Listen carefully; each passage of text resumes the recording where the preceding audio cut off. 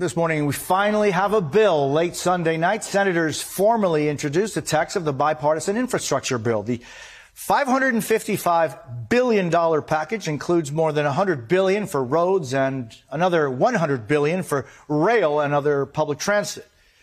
Now the race is on to get it passed. Senators are set to leave for August recess in a week. Both sides are hoping to get it done by then. NBC's Leigh Ann Caldwell is on Capitol Hill following the next steps. We're also joined by former RNC Chairman Michael Steele. Leigh Ann, let me start with you. Take us through what's inside this bill and what the timeline looks like for getting it passed.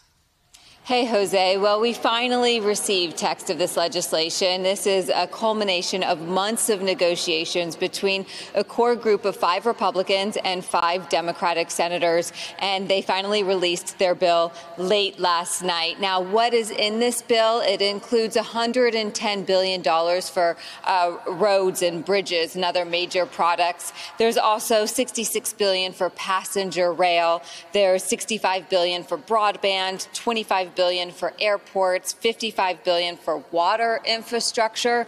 So if if this passes the Senate and the House, you're going to see a lot of construction projects, everyone will, in their neighborhoods because this is the biggest reformation of the nation's infrastructure in generations and that's something that both sides are really hailing. Now, what looks what happens next? Well, the Senate's going to be debating this piece of legislation all week week. There are going to be amendments offered by senators that could alter the legislation. But ultimately, Senate Majority Leader Chuck Schumer has said that he wants this passed out of the Senate by the end of the week. It's a pretty ambitious uh, timeline. But once it does pass, then of course it goes to the House of Representatives. Jose.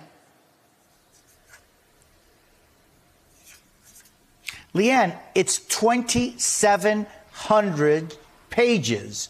Uh, I think, that, I mean, take them just a week to read it. Yeah. Um, yeah, it's a major bill, and it's a bill that touches every single aspect of people's lives. There's drinking water, wastewater.